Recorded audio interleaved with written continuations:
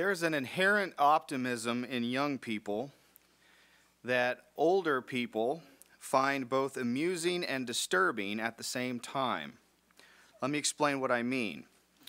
We are amused at the optimism of youth because we remember when we had all kinds of hopes and dreams and plans for life, many of which were not realistic. I don't know about you, but my life doesn't look very much anything like I thought it would look like when I was in my 20s. And so when I hear young people saying, I'm going to do this and I'm going to be that, I kind of smile to myself.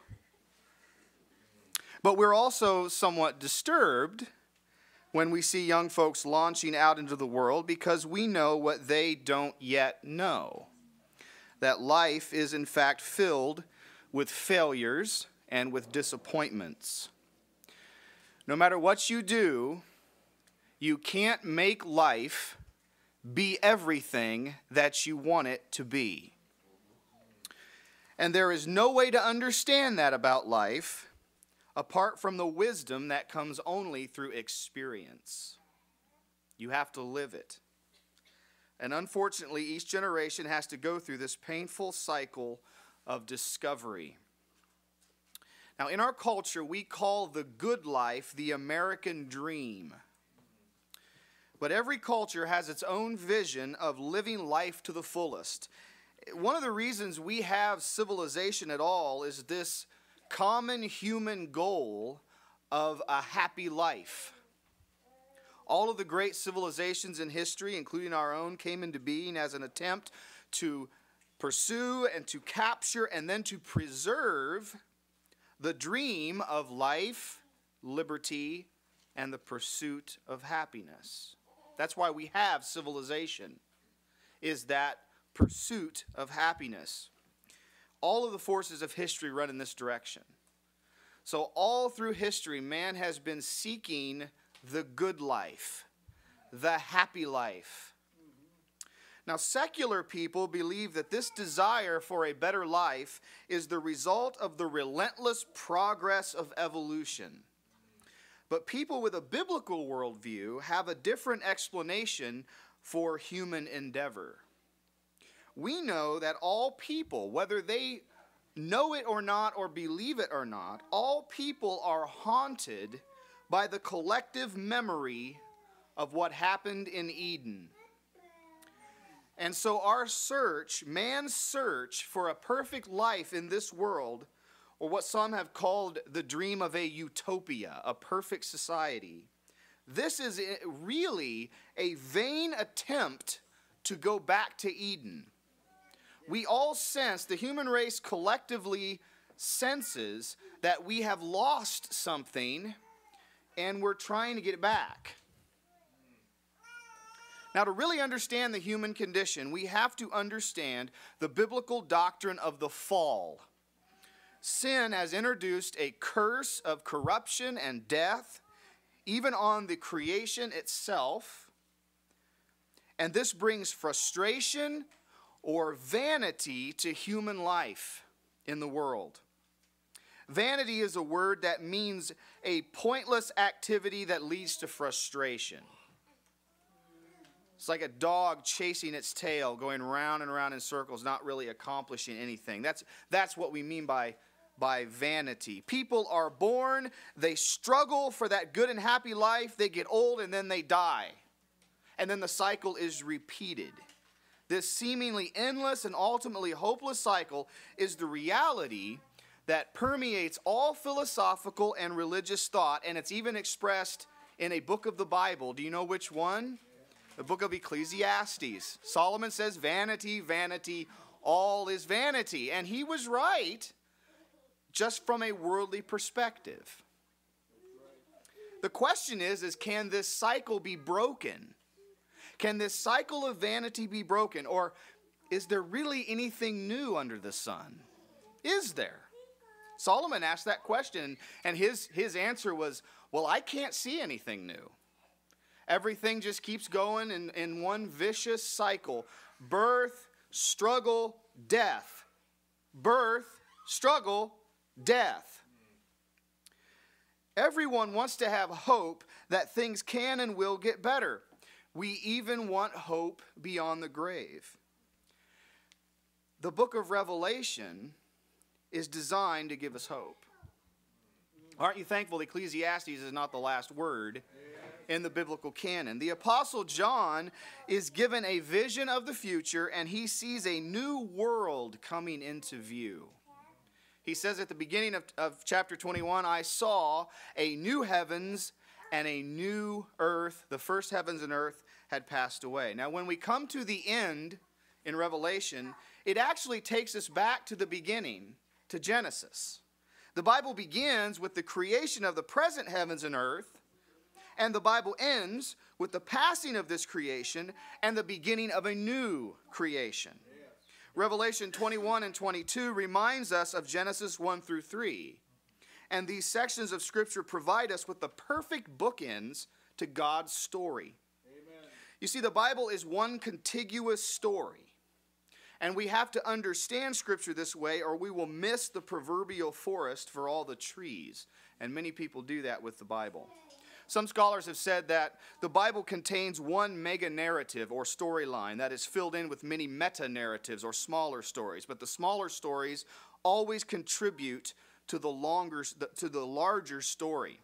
The story arc or mega narrative of the Bible is creation, new creation. That's how it began. That's how things end. In Genesis, we see the beginning of the world that we know. The first creation and the fall of man are the foundation for the rest of the biblical story. Now, in, in the modern times, the first few chapters of the Bible about how the world began have been seriously questioned, criticized, and largely abandoned as an explanation for the origin and condition of the world.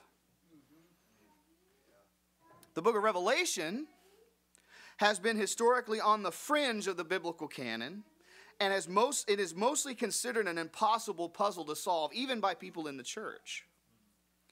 Now, if the first chapters of the Bible are rejected outright, and the last chapters of the Bible remain mysterious, it's no wonder that our modern generation remains ignorant of the message of the Bible. But if we compare the first chapters of the Bible with the last chapters of the Bible, we begin to see an integrated picture emerge.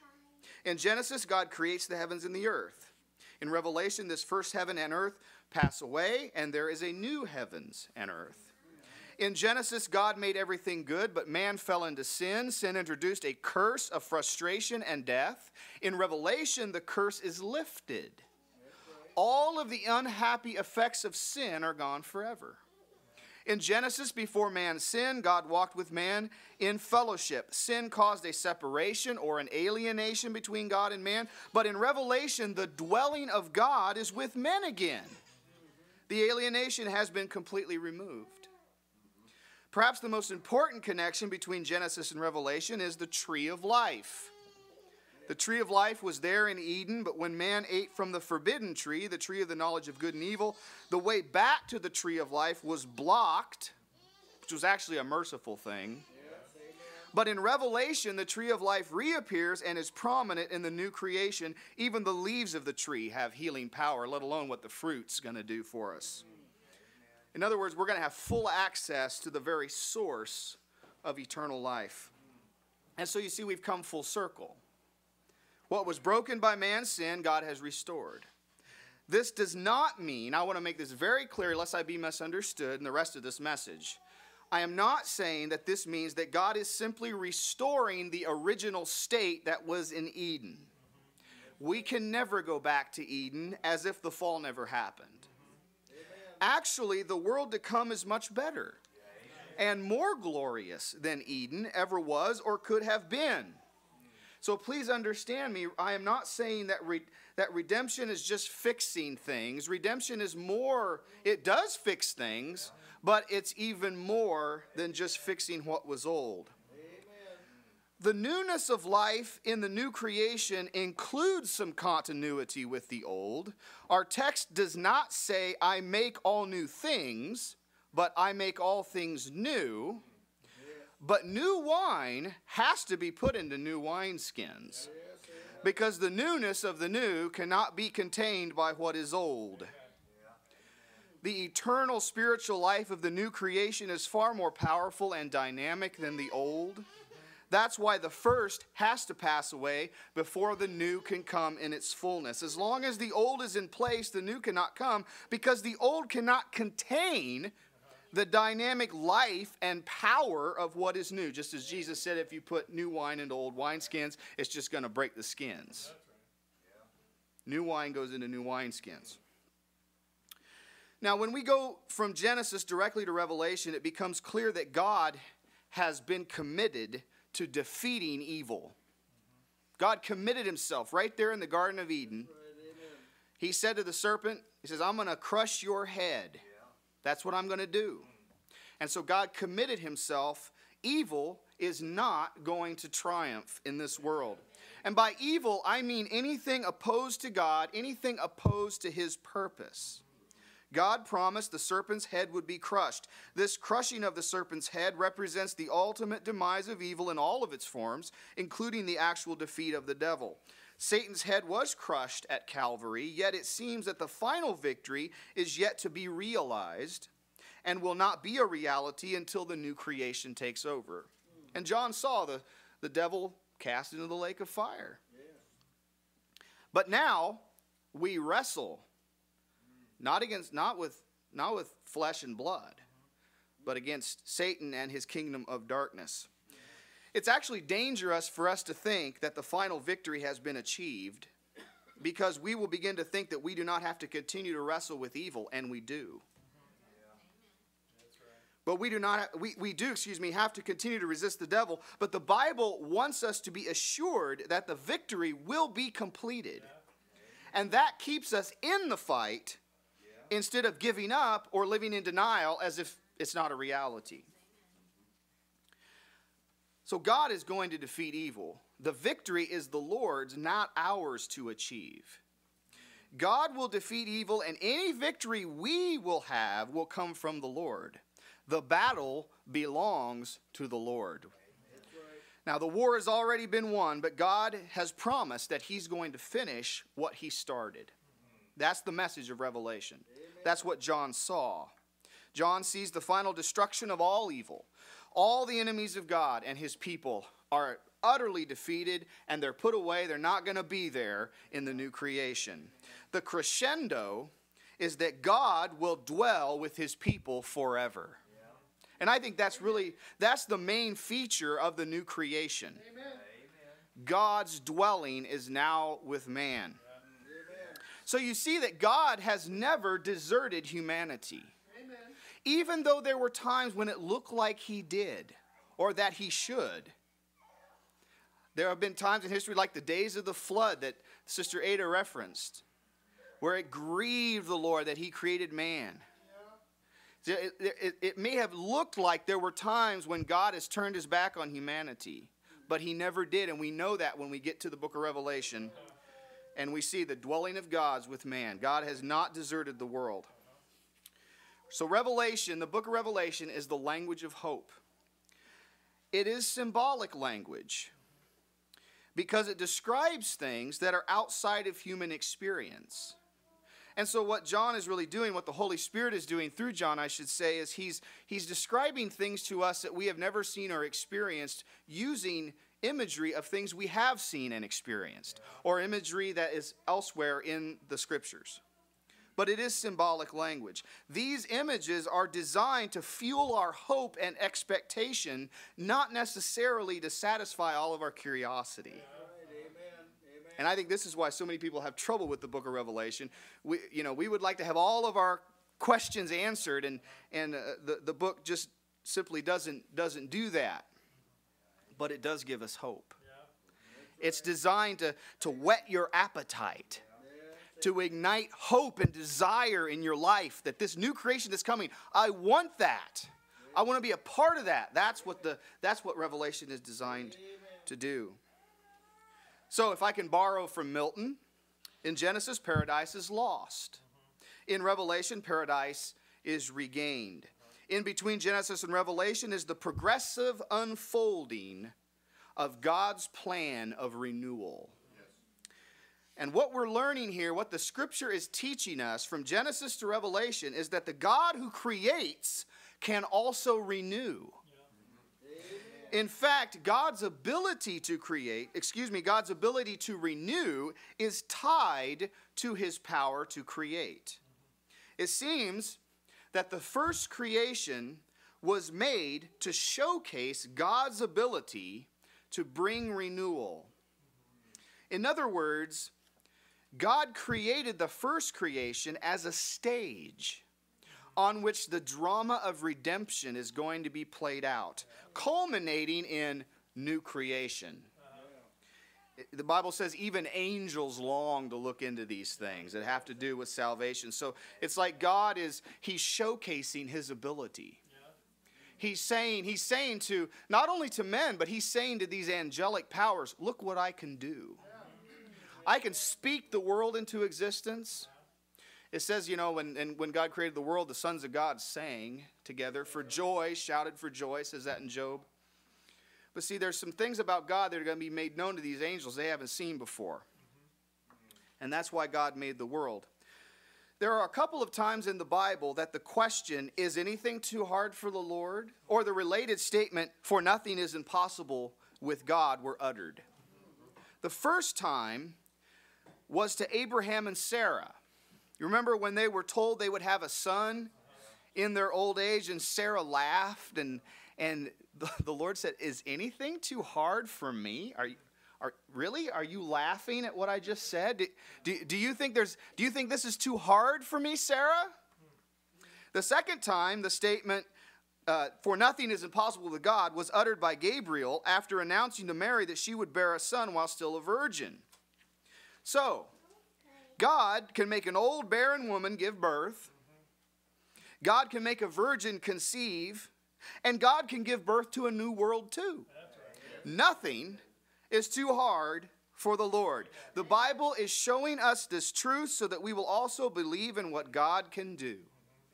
When speaking about God's promise to Abraham, Paul affirms God's ability to, to fulfill his promise because he is the God who gives life to the dead and calls into existence the things that do not exist. Romans 4, verse 17. Now, the new creation actually began when God called Abraham. That's the beginning. The God who made the world from nothing would bless the world through an old man and his barren wife. And if you don't think God's capable of doing that, you're wrong. He did it. He can do it. So if God can do that, see, if God can create a nation from Abraham and his wife, God can make a new world. And this shows us, God worked this way to show us that the new creation can only be traced back to Him. Just as the first creation came into existence by his word and by his will, just as he created a nation from Abraham and his barren wife, God is also going to make a new creation, and that's something only God could do. Only God can do that. There, there are some things that can only be accomplished by God and by Him alone. Only God can create something from nothing. It is often said that men have creative abilities and that this is part of the divine image in man. Now, I believe in the divine image, but man's creativity and God's ability to create are not the same thing. God had the ability to call something into existence that previously did not exist. Mm-hmm. God made everything from nothing. Can you do that?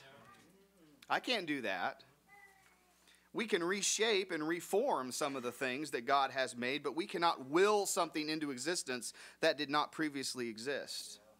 So this is this is theology 101 in a sense. Uh, God is creator, you are not. And yet, people often live under the illusion that they can create their own destiny. That's the hallmark of the modern world. We're going to create our own destiny. But it should be obvious that if creation is a work that only God can accomplish, then the new creation is a work that only God can accomplish. Another, another way of saying this is salvation belongs to the Lord.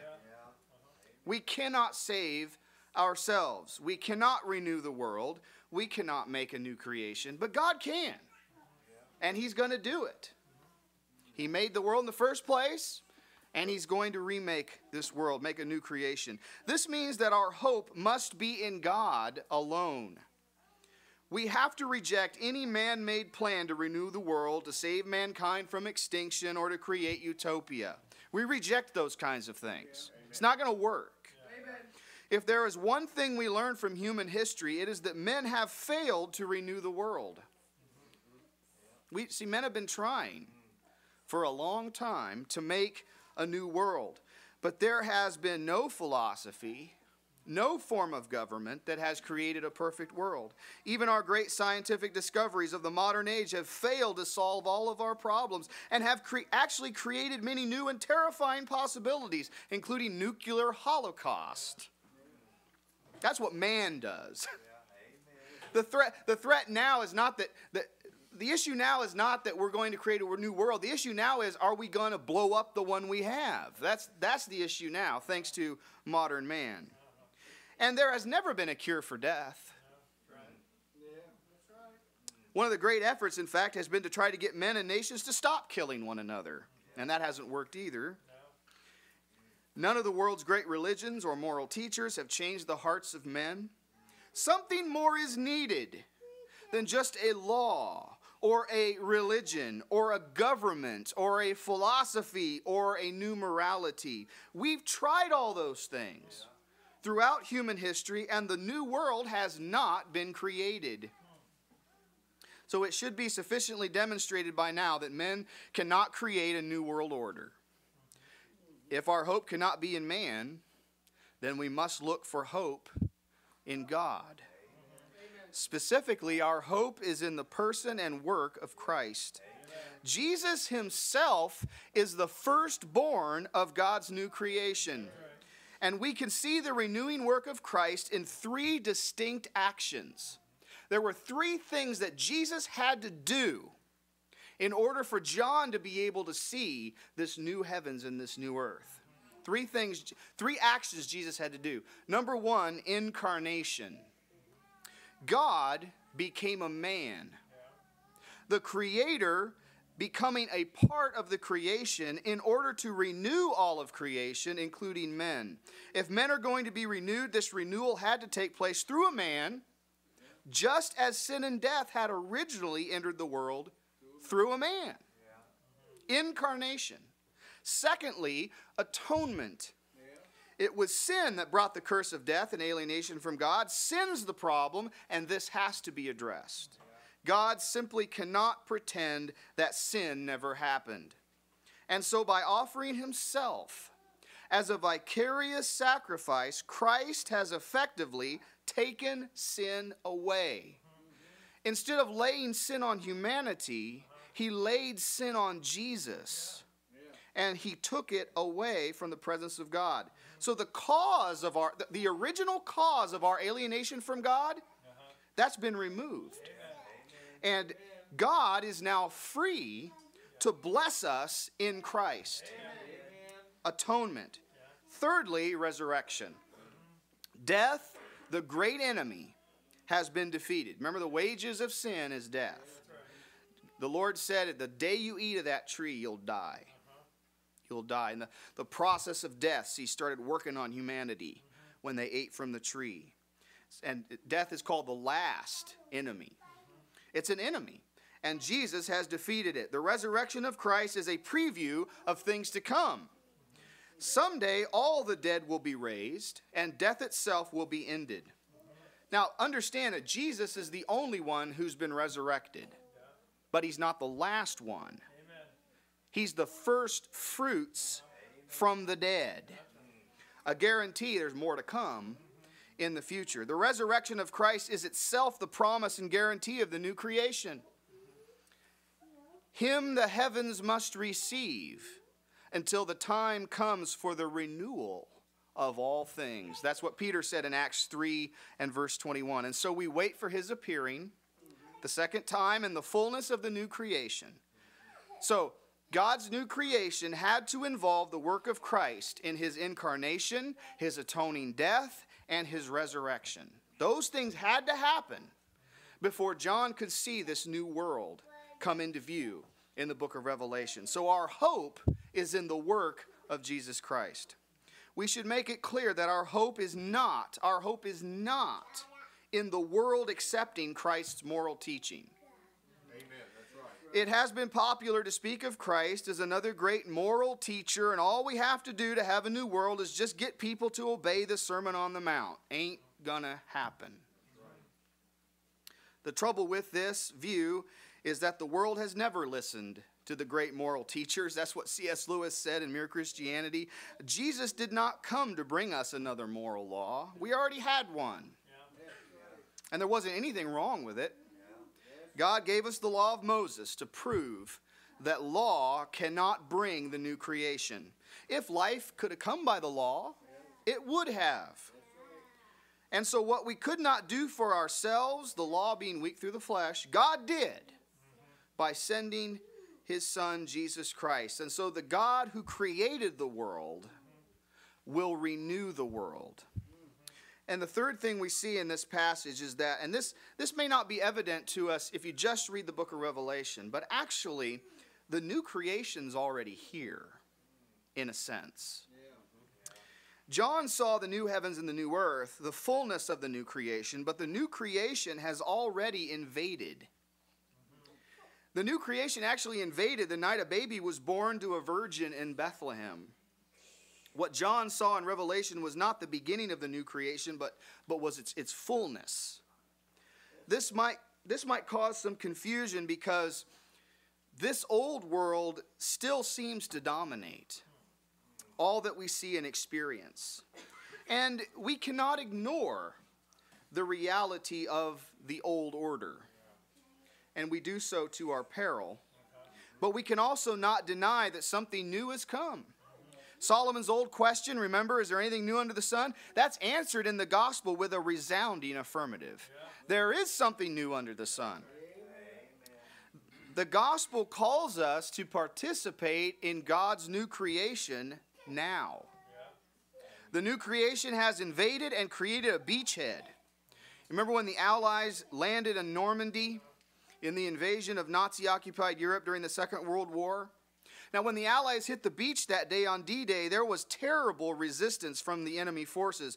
But once that beachhead was secured, the end of the war was soon to follow as the invading forces advanced relentlessly toward their goal. In the same way, the kingdom of God has landed and it is advancing in the world.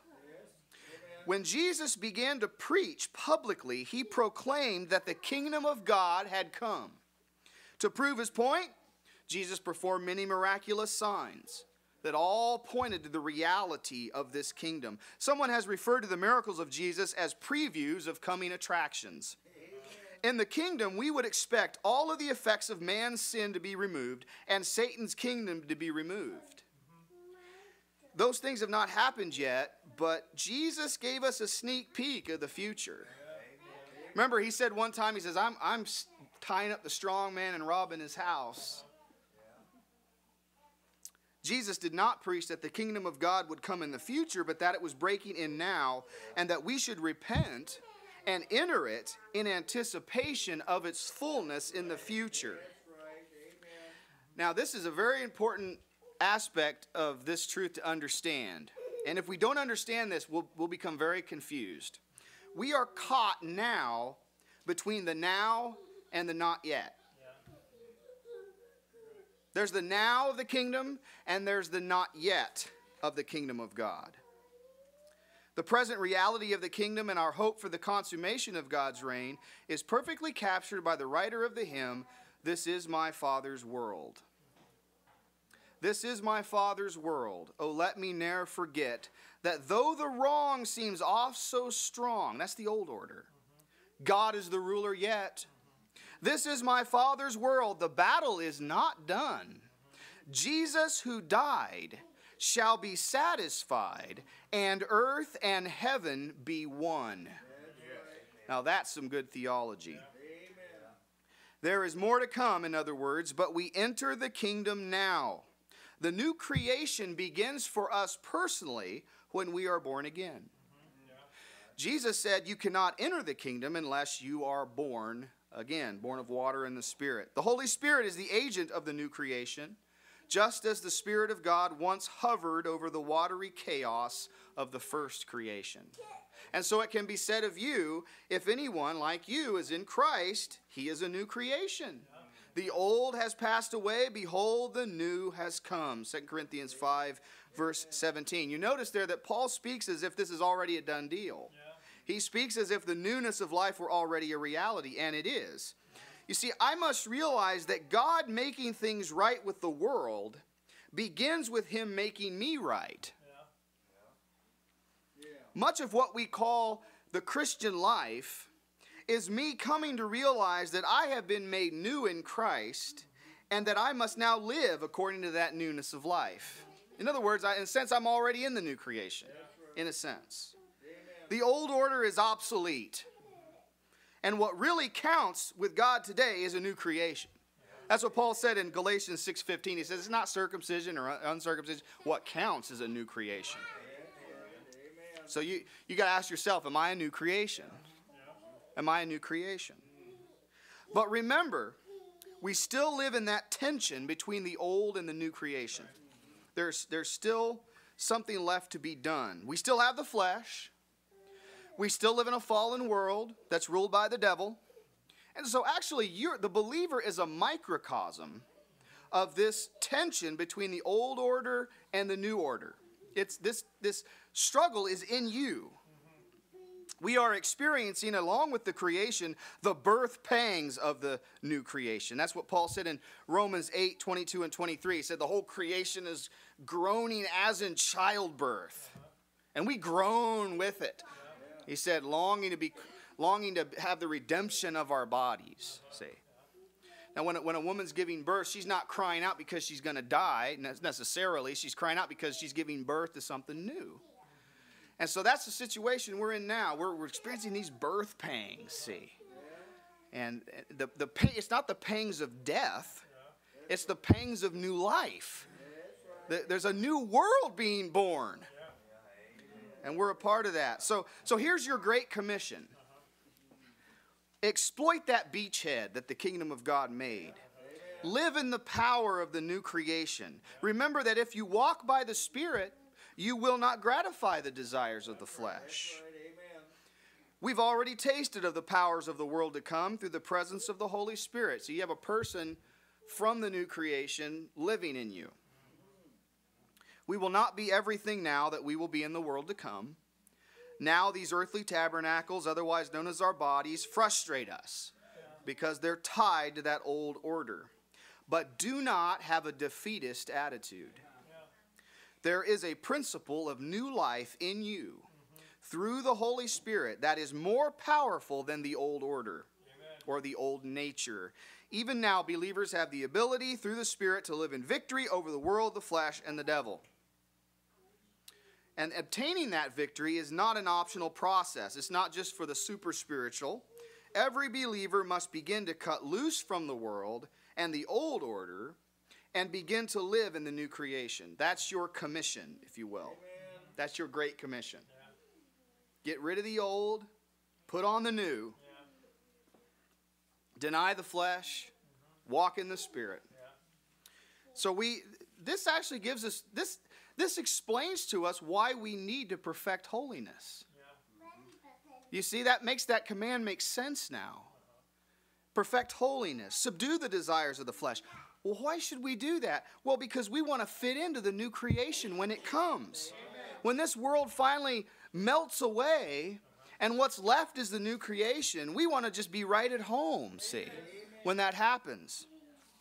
And that's what's going to happen. It says God's going to shake everything that can be shaken. So what cannot be shaken will remain. And when that happens, you, you want to be at home in the world to come. In other words, we've been made new because God is making everything else new. He has made us new ahead of time. And you must become compatible with the new creation or you will be excluded from it. In Revelation, John sees many people who are excluded from God's new world. These are people who loved their sin and continued in their love of this present evil world, and so they are excluded from the new creation. If we are going to have a place in the world to come, we have to at some point lose our affection for this world. See, this puts everything in perspective. All of those commands about subduing the flesh, hating sin, being holy, love not the world, now all of that has bite. See, now you know why. Because there's a new world coming, and I, that's, I want to fit in with that. That's why. Our main goal is to, it has to be to make it into the world to come, not to make it in this world, because this world's passing away. Now, think about this. If you were going to leave the United States and live in another country, you would no doubt make some preparations. You would learn the culture of the country to which you are going, you'd learn the language. You'd learn about what they eat and how they live. You would familiarize yourself with the language and the customs so that you would be a good citizen of your new country. In the same way, the saints of God are becoming familiar yeah. with their new home, the culture of the kingdom of God and of the new creation. So when this world passes away, we will not grieve because we will be welcomed at that point into our true home in the Chronicles of Narnia, when the old Narnia passes away and they find themselves in a new world and they're wondering where they are, it's Jewel the unicorn who realizes what has happened. And he declares, I have come home at last. This is my real country. I belong here. This is the land I have been looking for all my life, though I never knew it till now. Come further up come further in. Now, perhaps this new world, as we're gathered together here tonight talking about the things of God, perhaps this new world is quite clear to our vision. But Monday morning is coming. And we have to go out once again into this present evil world. And this world has a way of creating a kind of fog in our minds that hides the world to come. In a sense, this world is the only thing hiding the world to come. This world and all of its demands, what Jesus called the worries of this life and the deceitfulness of riches, these things can come rushing at us every day like wild animals. And it becomes our duty every day to push aside the things of this temporal world order so that we can get a glimpse, no matter how fleeting it might be, of the new creation that God is about to unveil. Behold, I make all things new. So we already know the end of the story. We know where this is going. And since God has already revealed his purpose to us, it is our business to know what it is and get involved in it. We have no right to make our own agenda or to do our own thing. Mm. If we try to hang on to this world, not only will we lose everything here, we will also forfeit the world to come.